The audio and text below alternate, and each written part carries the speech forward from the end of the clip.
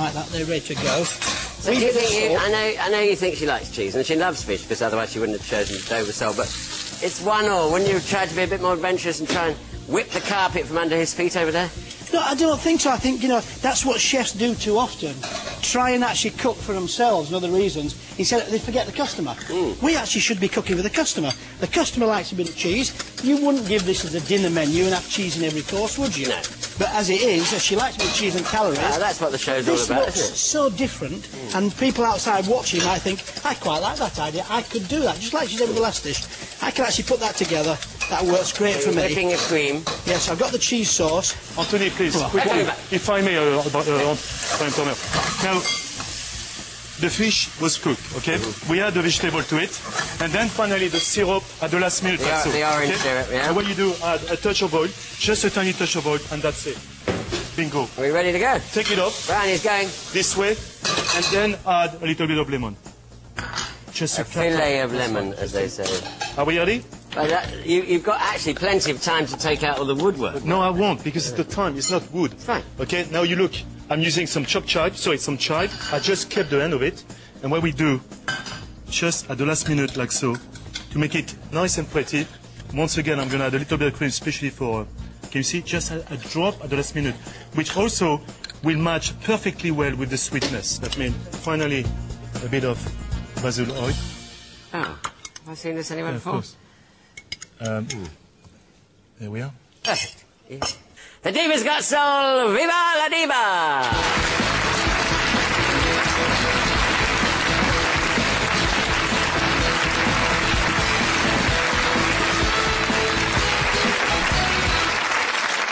Brian, if I may suggest, you've got to pick up the plate. The plate is baking. Can I just put that plate underneath it? You can, that and as you're moving it, yes, put it down. That's fantastic. I'm just going. to, It slipped off as that look, so I'm just going to put that there, Okay, so it covers up the slippy off bit. fine. Okay. I think what I'm going to do is leave that there. JC, if you'd pop over. while we Yes, get, of course. uh, Yes, came back course. from the uh, green room, yeah? Of course, okay? of course, well, they've cooked for the last time today. We just need a winner.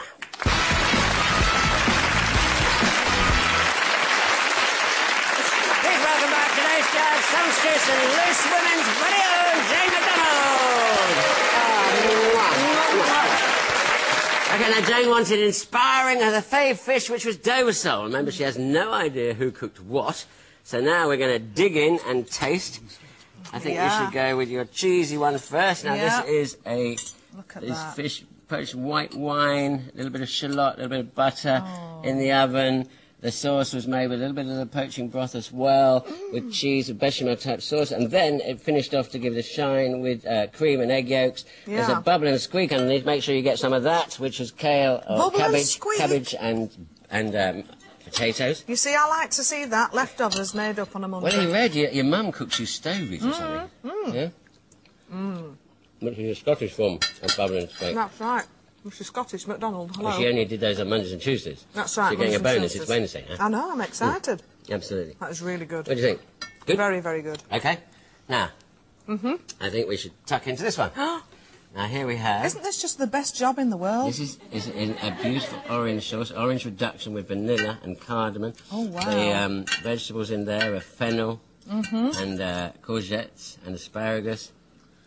Wow.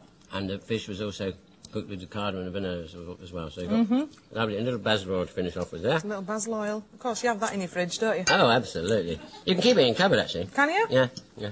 This is Right. really good as well. Wow.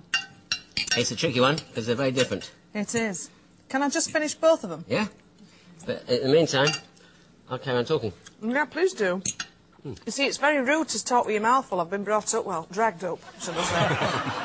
Now, early in the show, Jane awarded her first point to JC for his chicken in a stroganoff sauce. The second point was awarded to Brian for his smoked haddock with a cheddar crust and a creamy crab sauce. Well, the score currently stands at one all. So whichever chef wins this challenge will be today's champion.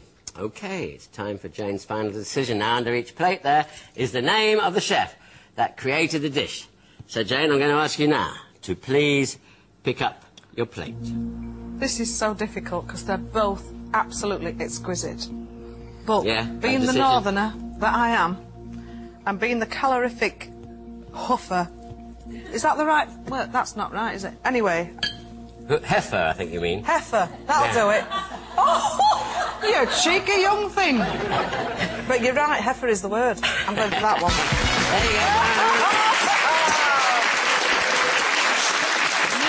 Okay, so that was purely a northern thing. I thought Brian may have overdone it with the cheese. No. But you've gone for it again. He knows me. He could set me out, that lad. He really could. And you got you like the bubble and squeak. Love the bubble and squeak. You see, it's what you brought up with, it's what you know, isn't it? So. Well, I'm really pleased that Jane, you are a lady of substance. You're not worried about looks at all. If you want to take What are you Brian trying to say? Excuse me. Oh. I apologise to the lady, huh? No, no, why not looks? I I'm love talking it, about you. lovely, yeah. So did I. I thought. was going to thump him. I was going to say, Brian, you'd have stood up for me. I thought you were two trying to say I was a bit of a minger then.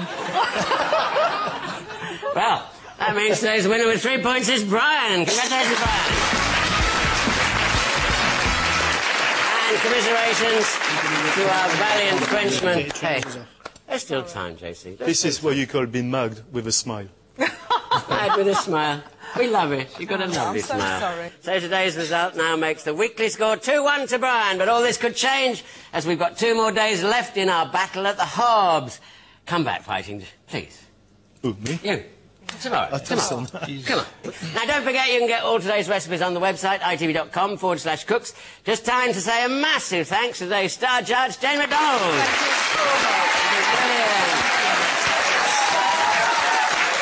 And, of course, to the likely lads over there, Chefs Jean Christophe Novelli and Brian Turner.